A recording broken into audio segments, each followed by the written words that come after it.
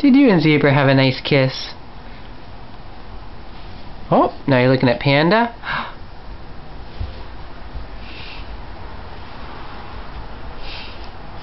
That's not very nice.